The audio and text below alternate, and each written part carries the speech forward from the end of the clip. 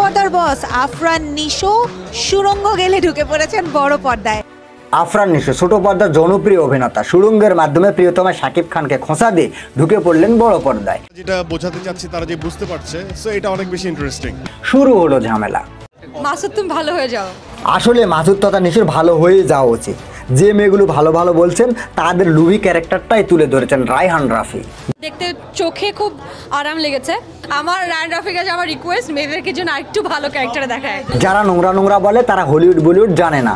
এগুলো নাকি হালকা পাতলা। মানে তো হালকা পাতলা ম্যাডাম রে এটা তো হলিউড বলিউড না।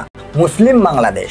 হয় বিকজ বলিউড ইন্ডিয়া ফিল্ম মানে তো হালকা পাতলা একটু কমার্শিয়াল আর রাফি ভাই আমরা বুঝতে পারছি। ব্যাংক ডাকাতির ঘটনাটি সুরঙ্গে ঢুকে ওয়েব সিরিজ বানানো হচ্ছে। থেকে টাকা লুট করেন হাবিব। সুরঙ্গ করছি। আমি একলাই কাটছি এরপর ষোলো কোটি চল্লিশ লাখ টাকা লুট করে। মিথিলার কথা মনে পড়ল। তোমা মির্জা মিথিলা একই। মাত্রই লোভী হয়। গল্পের খাতিরে মুসলিম দেশে অশ্লীলতাটা একটু বেশি লুবি করছে না তো? হ্যাঁ এটা ছিল এটা হচ্ছে বাচ্চা কাচ্চাদের নিয়ে দেখলে ভালো লাগবে না। আমি হোস্টেলে পড়াশোনা করছি মাদ্রাসায় পড়াশোনা করছি তো আমি। অনেক বেশি এগুলো জানি। মাওলানা রায়হান রাফি। যেটা বোঝাতে চাচ্ছি তারা যে বুঝতে পারছে সো এটা অনেক বেশি ইন্টারেস্টিং আপনি তো মাদ্রাসায় পড়েছেন। মাদ্রাসায় কি কোনো সাবজেক্ট আছে সিনেমা বানানোর? তো বোকা ডট ডট ডট। ফিল্ম মানে তো হালকা একটু রাফি ভাই এটা কোনো হাদিস না পলিটিক্স মাদ্রাসায় পড়াশোনা করছি তো আমি। অনেক বেশি এগুলো জানি। পলিটিক্স জিনিসটা আমি খুব ভালো বুঝি। যদি আপনি পলিটিক্স বুঝেই থাকেন তাহলে সাকিবিয়ানদের থামাতে সাকিব খানকে স্টার্টার দিতে বলতেছেন কেন? মাসুদ, তুমি ভালো হয়ে যাও।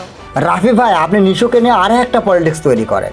ভাই, আমরা আপনাদের ভালোবাসি, কিন্তু কাদা ছড়াছড়ির মাধ্যমে নয়। আপনাদের যোগ্যতায়। আমরা অডিয়েন্সরা শাকিব খানকেও দেখব, নিশুকেও দেখব, আর যারা যারা ভালো অভিনয় করছেন, তাদেরকেও দেখব। ভালোবাসার তারকারা থাকে অন্তরে।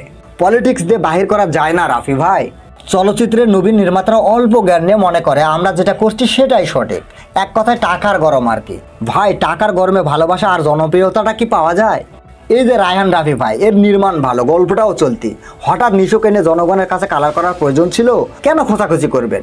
দরকার ছিল এটা আমার কাছে মনে হয় যে একটা নতুন হিরো আসলেই এই শাকিব খানের দিন শেষ শাকিব মানে ভাই আপনি না বললেন অল্প জ্ঞান? হ্যাঁ রে ভাই নবীনদের ঠেলায় প্রবীণেরা বিশ্রামে। যেমন মালেক আফসারি স্বপন চৌধুরী এখন সিনেমা বানায় না ইউটিউবিং করে। অথচ সাকিব খান এনাদের অনেক সুপারহিট সিনেমাতে কাজ করেছেন সাফল্য পেয়েছেন। সো রাফি ভাই বাকওয়াজ বান করে ভালো ভালো কাজ উপহার দেন যেন আমরা পরিবার নিয়ে দেখতে পারি। রাফি ভাই শাকিব খানকে কি দেখেছেন কাউকে খোঁচাতে? সুপারস্টাররা এমনই হয় অজগর সাপের মতো। হঠাৎ করে এসে শিকার নিয়ে চলে যায় অর্থাৎ সাফল্য পায়। আর তারা আড়ালেই থাকেন খোঁচাখুচি করেন থেকে টাকা লুট করেন হাবিব। সুরঙ্গ করছি। আমি একলাই কাটছি এরপর ষোলো কোটি চল্লিশ লাখ টাকা লুট করে।